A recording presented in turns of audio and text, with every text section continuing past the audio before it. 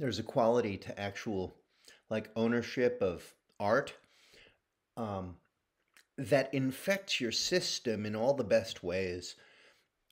Your way of seeing things when you have purchased art one of my wife's clients is absolutely in love with this first painting that he has commissioned and now he owns it and it's on his own wall and he says the room looks different. The room feels different.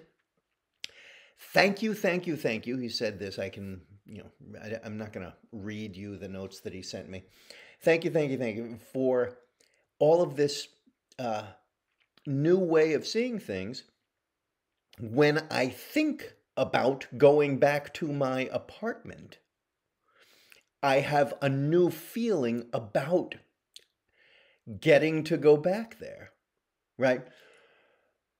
You know what I'm talking about. Maybe you've never purchased something, but you can get it.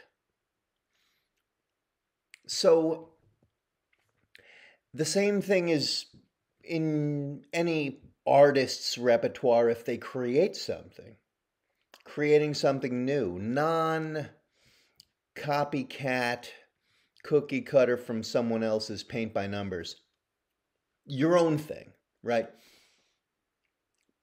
Creating a performance, building a musical, writing something of note that makes a difference, it actually colors your life differently. And the same thing happens when you embody your ability to say what you truly want to say, what you truly desire to say to people, so that you are unapologetically moving forward into your own stuff. Your creative self expression, whether it's business oriented, artistically oriented, or supporting other people's so that you take ownership of some commission, right? Uh, it's all part of the same thing. It actually changes the way you view yourself in your world. Now, from a business perspective, you know, changing the way you explain stuff and craft a business so that you can not be using someone else's cookie cutter templates, but actually forging new ground, creating something that is truly unique and authentically you in a way unlike anyone else's. Though that takes a lot of work, once you get there, it actually brings you money.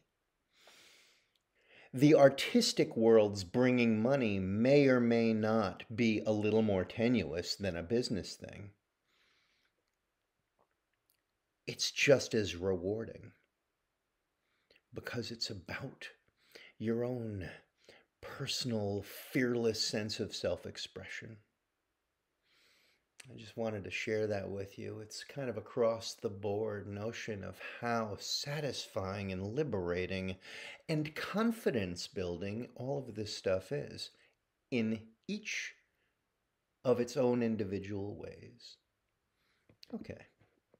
End of story for now. Speak soon.